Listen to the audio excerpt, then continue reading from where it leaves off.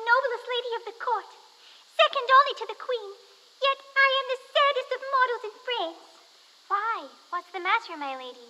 Oh, Teresa, I am so downhearted.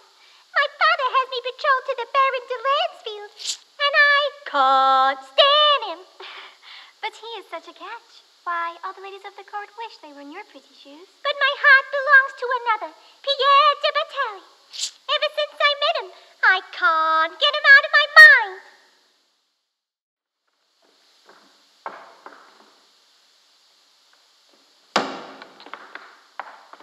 Yvonne, Oh, Pierre, you should. Um, you're flirting with danger. Was... Your head is much too valuable. tis Cupid himself that brought me here, and I, smitten by his arrow, must come charging to your side, despite the threats of Madame la Guillotine. But the night is full of our enemies. Imperious princess of the night, I love you. I love you. I love you. I love you. I love you. I love you. I love you. I love you.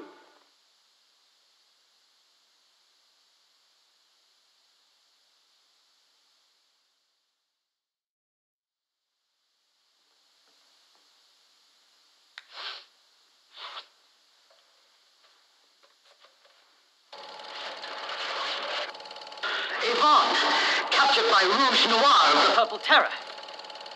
Oh, my sword. I must fly to her side. Yvonne, Yvonne, my own. Pierre!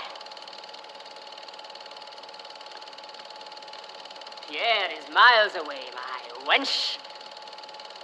No, no, no! Yes, yes, yes. No, no! Yes, yes, yes. No, no, no! Yes, yes, yes.